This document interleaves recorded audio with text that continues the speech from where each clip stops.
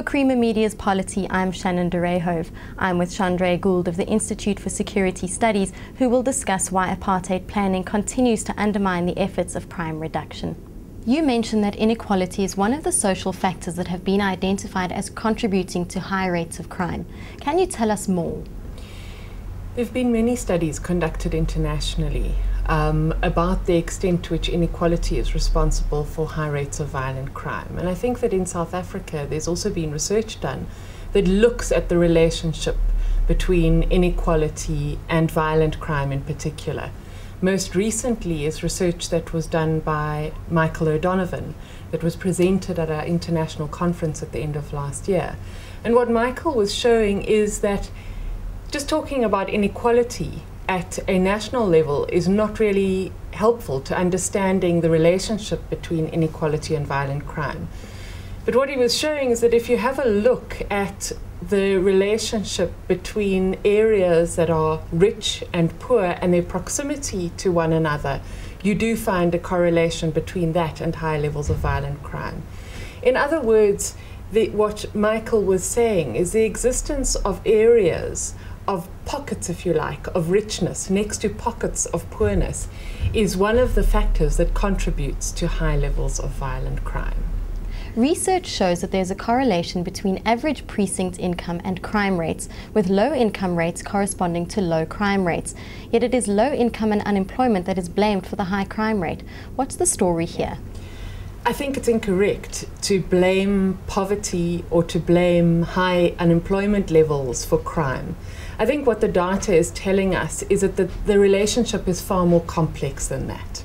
And I think if you look at the work that is done, being done by the ISS, it's been done by the Center for the Study of Violence and Reconciliation, and by others at the MRC, looking at violent expressions of masculinity, for example, you'll find that there's a relationship between the way in which people behave and their, pers- their perspective, particularly men, and their, their ability to express their masculinity in a functional kind of way. So if you break that down into what that really means, mm. it really means that particularly boys who grow up in an environment are where crime is normalized where there's a, perhaps a high level of or a high acceptance of violence and crime they and who don't believe that they have terribly much hope for the future and aren't able to find ex- put themselves out as successful men in the world they might be more likely to res- resort to crime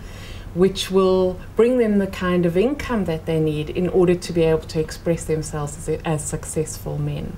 So I think what we're finding, and this is this is not unique to South Africa in any way at all, is that the relationship between unemployment, employment, poverty, and crime is a deeply complex one. There are a number of other factors happening. So you can't say that because you have high levels of poverty, you'll have high levels of violent crime. I mean, we see countries like India where that's just not the case. So there's something else happening here. And I think that's what we're trying to understand. Professors Keith Soothill and Brian Francis have said that the pivotal issue is whether people are able to develop internal controls to resist crime. The development of more prisons is a measure of the failure to do this. This is not how we usually talk about crime in South Africa. Do you think we will be able to shift the focus from policing to where people in South Africa are internally motivated to avoid doing crime? I don't think that that's a process that happens overnight. And I think that what we see from international experience is that transitions to democracy are accompanied very often by a rise in violent crime after the transition. Now, I know we talk about the fact that our transition happened 15 years ago and we expect a lot to change in 15 years, but really, 15 years is not a very long time for social processes to take place and to be completed. I think there are other factors as well playing into our acceptance as, of criminality in South Africa. I think it's absolutely vital that we have good examples of leadership. Um, and addressing corruption at, at, at high level is one of the things we really need to look at doing very seriously. Um, but I think that what ultimately building a healthy society does involve having a shared vision, having shared interests. And I think this comes to, to the very issue that um, Michael O'Donovan was talking about and this relationship between inequality and crime and so on. Is that if we have, if rich and poor have the same interests, and if we have the same interests in terms of micro issues where we live, so we, if we live on the sa- lived on the same street, or if we lived in the same neighborhood and our children went to the same schools, there would be a kind of social cohesion that comes out of that because we have shared interests that would mitigate against the kind of property crime and violent crime that we see emerging as a consequence of inequality. You argue that one of the primary factors driving high levels of crime is inequality within an area, with separate development playing a big part. These are classic characteristics of apartheid town planning. How can South Africa move away from this and therefore lower the crime rates?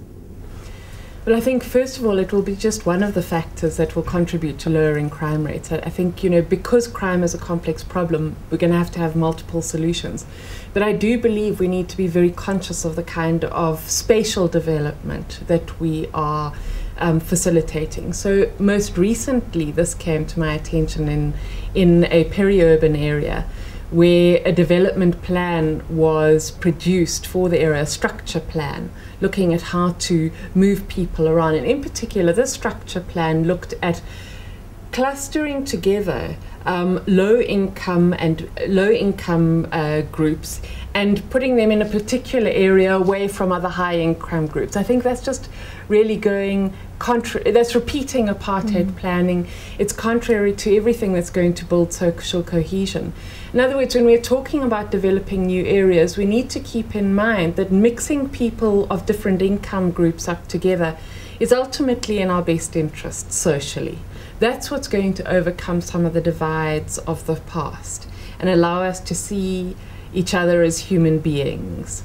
Um, and not reinforce divisions that are now that are racial divisions as well as class divisions that need to be addressed very urgently.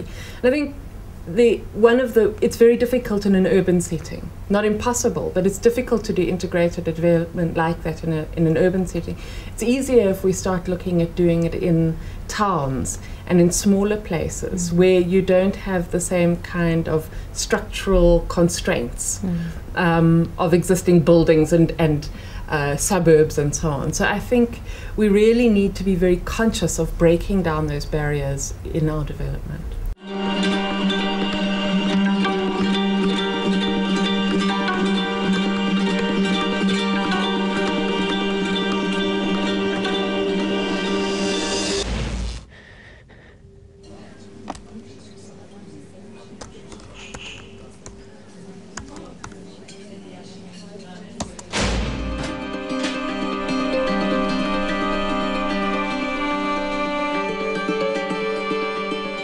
Donate now and give 15 Rand a month. SMS JOIN to 41486